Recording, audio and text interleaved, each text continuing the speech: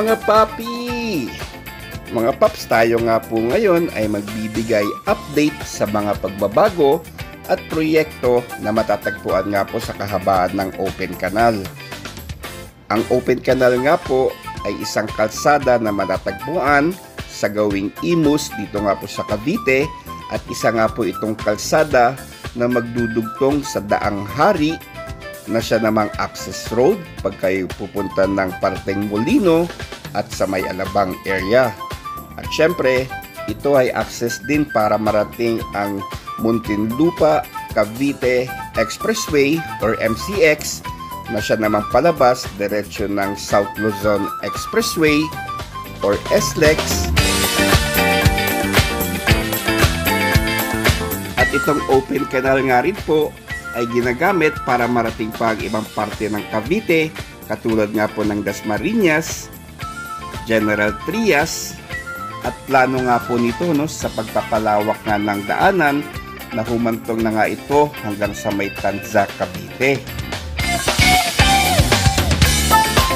Ang open canal nga po ay siya ring binansagan na bilang daang hari extension. Isa nga po itong proyekto dito sa Cavite na layo na nga pong ipagdugtong ang kahabaan ng daang hari simula nga sa may alabang hanggang parating na nga po ng Tanza Cavite at sa lawak nga po nito ay napakarami pang ang potensyal ng mga developments. At hali nga po kayo, samahan ninyo ko at ipapakita ko nga po sa inyo ang mga latest developments, proposals, and syempre ang mga gagawing proyekto dito nga po sa lungsod ng Cavite. At ito na nga po ay ang Open Canal Projects.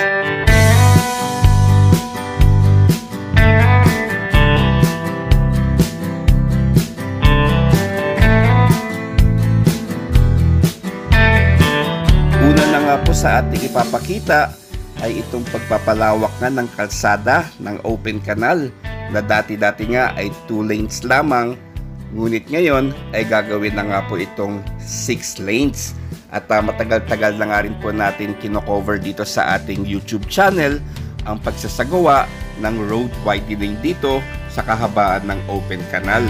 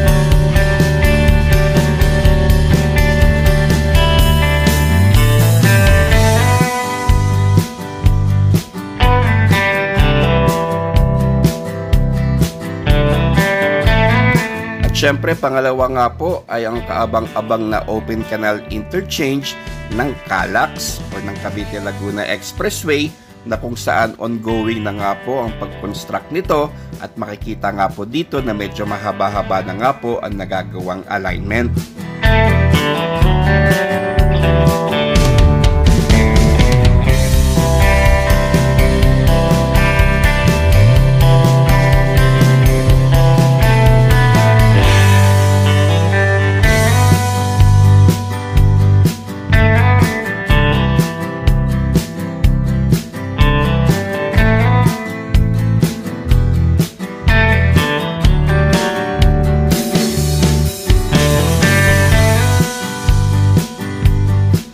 At ang pangatlo nga po at ang uh, kaabang-abang na isa na namang township development ng federal land na meron nga pong sukat na 600 hectares. Katunayan nga po ay nagkaroon na ng groundbreaking ceremony para nga po sa first phase ng construction nito na merong tiyatayang 100 hectares at dito nga rin po itatayo ang SM General Trias. At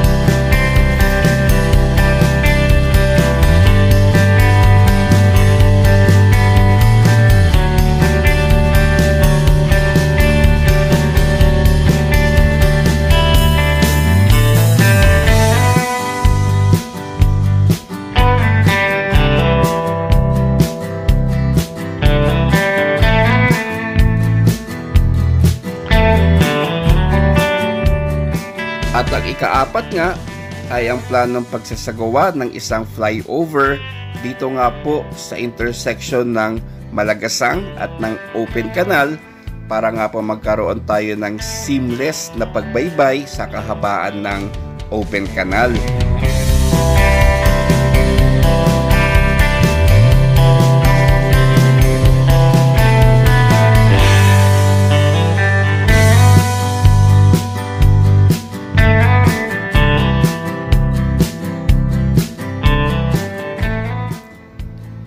Dalawang kawani nga po ng kontraktor ang ating nakausap kamakailan lang at sila nga po nag-confirm na magkakaroon nga po ng at least 200 meters na haba nitong flyover na sisimulan nga po dito sa may gas station na ito.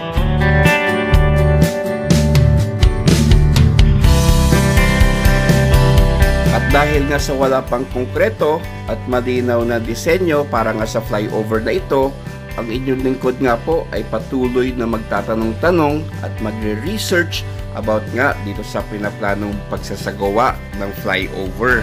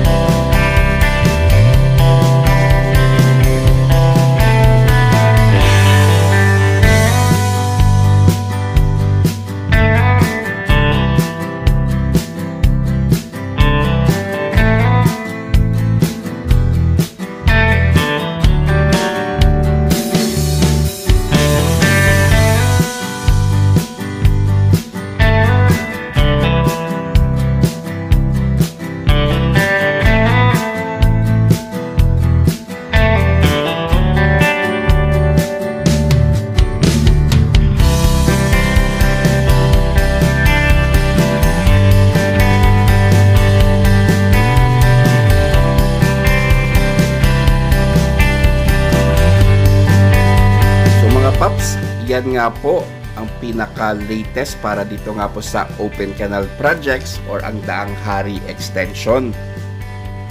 At kitang-kita naman po natin ang potensyal nito na bilang isang developed area na naman ng Cavite sa hinaharap.